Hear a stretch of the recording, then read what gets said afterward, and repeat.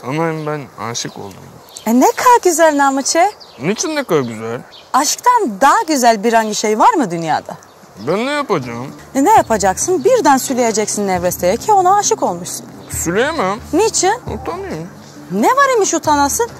Em, ben bileyim o da seni sevey. Yok bir vakit seveydi artık sevmeyi. Sevey sevey. Sevmeyi bileyim konuşmayı benimle. E çok üzdün kızı be Namık. Ondan ötürü konuşma. Sen peşin süre sevdiğini o vakit anlarsın sevey mi sevmeyi mi. Süleyemem. Niçin? Dedim utanayım. Sülemezsen nasıl bilecek onu sevdiğini? Doğru bilemez. E, bilemezse gidecek başkasına varacak. Sen de böyle ıspanak sapı gibi kalacaksın Süley'e. Ne yapacağım ben? Ne yapacaksın? E, madem ki konuşamaysın o vakit mektup yazacaksın.